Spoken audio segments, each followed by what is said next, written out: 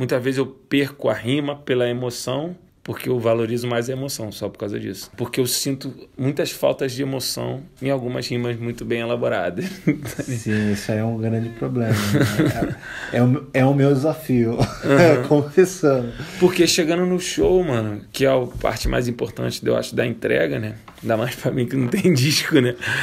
Mas é, é a parte onde você tá ali, mano você fez mesmo a parada ali. Se hoje fosse o último show, eu ia ficar satisfeito. Eu acho que fiz uma boa performance, apresentei músicas interessantes, independente se a pessoa conhecia ou não. Tinha criança lá, tinha pessoas mais de idade.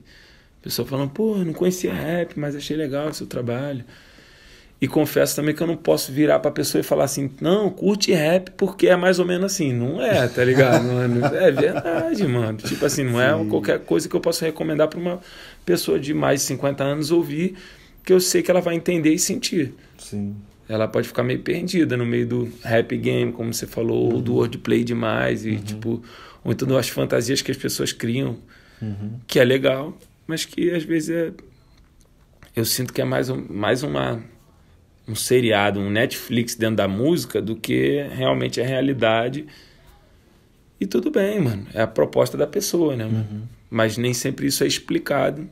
E, é, né? e a pessoa tenta passar como se fosse a vida real e não é. Sim.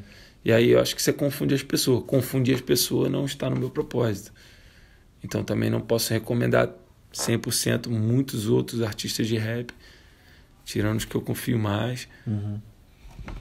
que posso citar assim, mas não, sei lá, Rashid, Santi, uhum. as pessoas que eu que eu vejo que tem ali uma coerência na vida, na, na conduta. Uhum.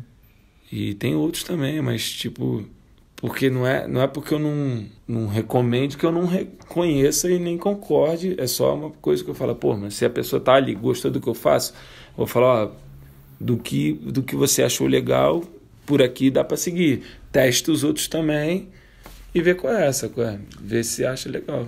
Porque recomendar é igual compartilhar, né? Quando você compartilha nas redes sociais, a pessoa Sim, entende que você está tipo, legitimando. Você está legitimando.